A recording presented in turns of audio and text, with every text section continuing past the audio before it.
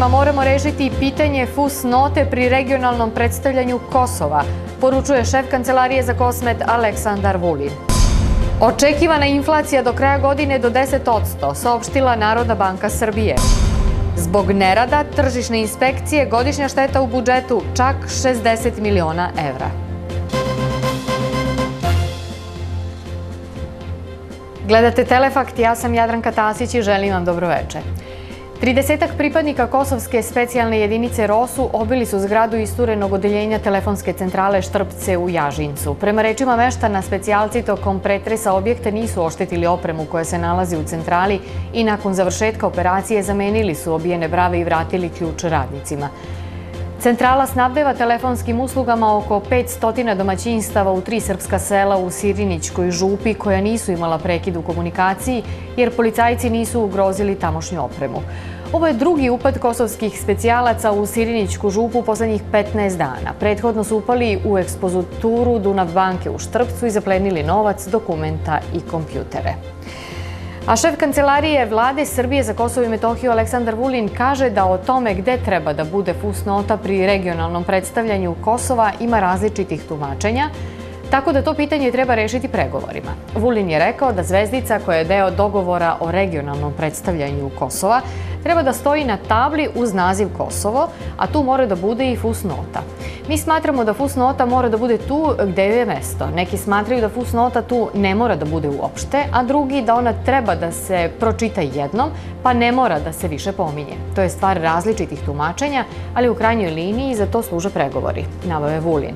Prema njegovim rečima, Srbija je ozbiljna država i mora da poštuje dogovore koje je državni predstavnik postigao u Briselu.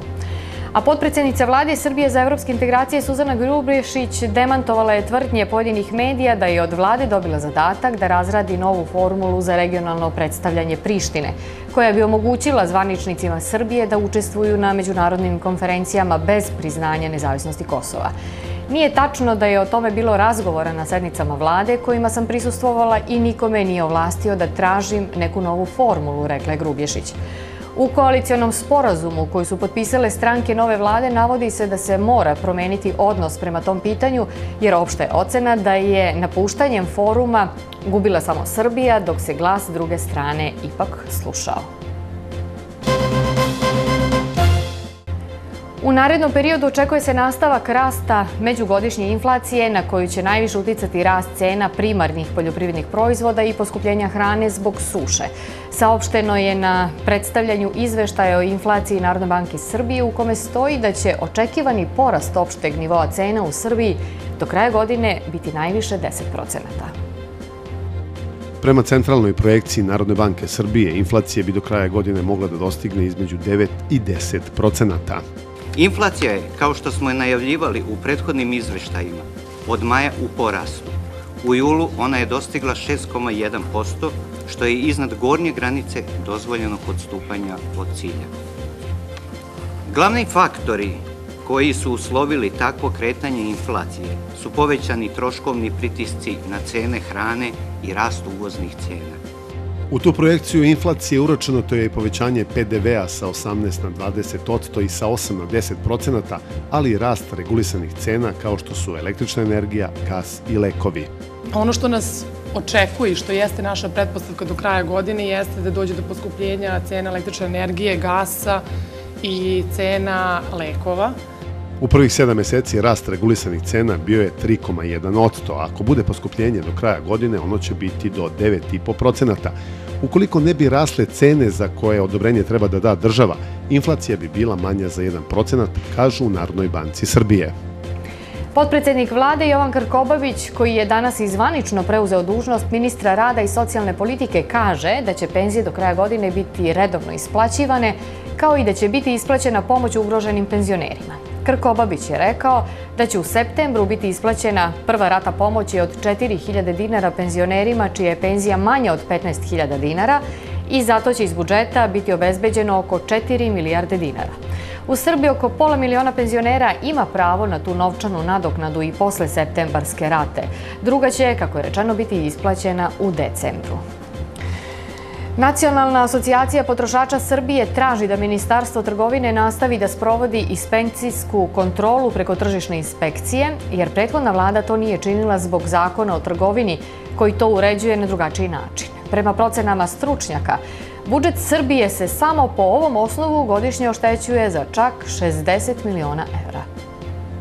Osim manjih uplata u budžet, tržište Srbije je prepušteno stihijskom uvozu robe sumnjivog kvaliteta i uputili smo predlog Ministarstvu trgovine kako da se izađe iz problema, kaže Goran Papović, predsednik Asocijacije potrošača Srbije.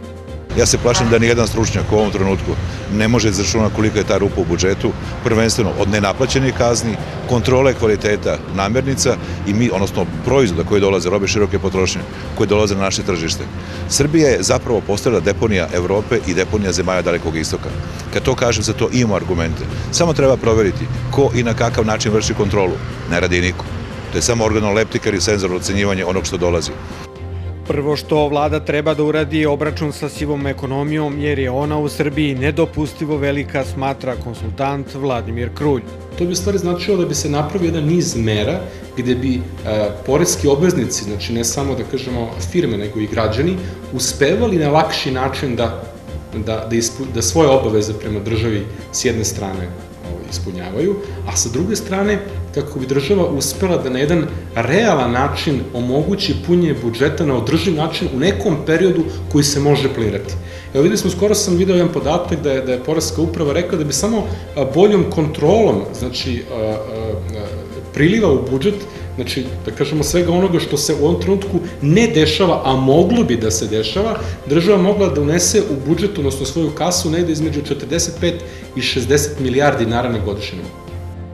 Vlada Srbije, saznaje naša televizija, planira da na jesen promeni porezku politiku sa ciljem da se olakša plaćanje poreza, ali i brže i bolje puni budžet. Kompletne mere stupit će na snagu od nove godine, a efekti će se osetiti početkom prvog kvartala 2013. godine, kažu u Ministarstvu financija. Povećanje izvoza će bez sumnje biti jedan od osnovnih zadataka vlade Srbije. Posmatrano u tom kontekstu, sporazumi o slobodnoj trgovini koje je Srbija potpisala sa nekoliko država kao i sa zemljama članicama Europske unije, udruženjima CEFTA i EFTA dobijaju na značaju. Podatak da se dve trećine spoljno-trgovinskog prometa u svetu ostvaruje kroz slobodnu razmenu roba i usluga i da beleži trend rasta ukazuje na to koliki je taj oblik ekonomske saradnje između zemalja popularan. Ono što takođe vrlo značajno jeste da se ova neselektivno subvencionisanje svega i svačega napokon suzbije i da se ostave samo one subvencije koje su strateškog značaja, to je prevashodno vezano za poljoprivredno-prehrambeni kompleks. Na prvi pogled reklo bi se da su vrata svetskog tržišta za plasman robe iz Srbije i to po povoljnim uslovima širom otvorena. Ipak sudeći prema podacima Prirodne komore Srbije, privilegije koje nude ti sporazumi ne koriste se u dovoljnoj meri. Srbija kao mala zemlja logično je opredeljena na, i na izvoz i na uvoz, pre svega ako se radi o uvozu, to su uh, osnovne energetske sirovine, dakle nafta, uh, zatim razni prerađivački industrijski proizvodi i druge sirovine koje nemamo kod nas, a glavna izvozna, naravno, glavni izvozni potencijal to je poljoprivreda i tu verovatno da imamo velike šanse da povećamo, e, povećamo izvoz i prehrambena industrija. Sudeći prema broju sporazuma potpisanih u prethodnoj deceniji, Srbija se uključila u proces liberalizacije trgovinskih odnosa sa svetom. Sporazumi o slobodnoj trgovini potpisani su sa Ruskom federacijom, Belorusijom, Turskom i Kazahstanom i EFTA državama, kao jedinstveni multilateralni sporazum o slobodnoj trgovini u jugoistočnoj Evropi, poznati kao CEFTA. Lider demokratske stranke Boris Tadić spreman je da žrtvuje pojedine stranačke podpredsednike kako bi spasao partiju od cepanja, ali i zadržao lidersku poziciju. Kako navode dobro obavešteni izvori iz te partije, Tadić još nije odredio datum varene izborne skupštine demokratske stranke, ali se razmatra ideja da ona bude zakazana simbolično 5. oktobra. Izvor iz vrha DS-a kaže da je svima jasno da nema mnogo vremena da se izvrši reforma stranke i da za sada sve ukazuje na to da će se dva najjača čoveka u DS-u, Boris Tadić i Dragan Đilas, o čijem nedavnom sukobu se pisalo u medijima, dogovoriti. Mediji su ranije preneli da je Dragan Đilas dao rok od dve nedelje Borisu Tadiću da očisti stranku od onih funkcionera koji su je kompromitovali i doveli do loših rezultata. Bošnjaci su jedini narod u Evropi koji nikada nije imao fašističku niti bilo koju srodnu ideologiju i zato je Aćif Efendija naš heroj.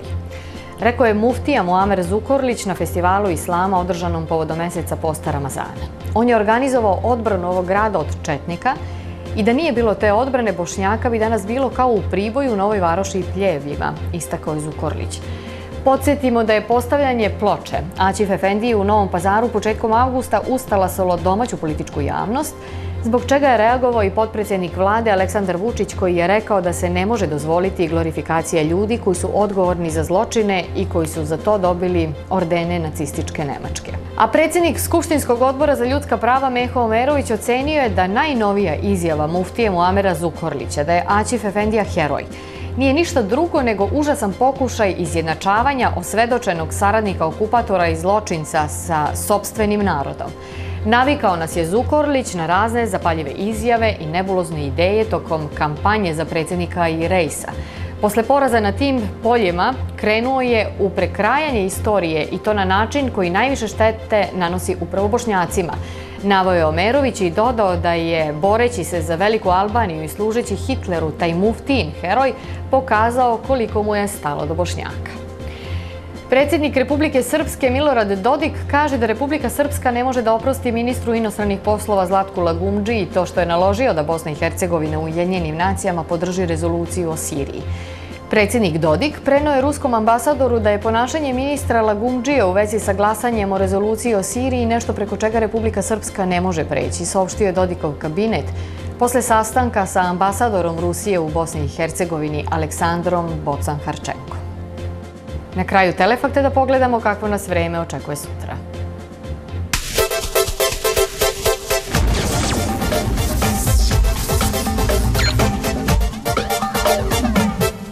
U Srbiji u četvrtak ujutru sveže, tokom dana sunčano i toplo uz lokalni razvoj oblačnosti.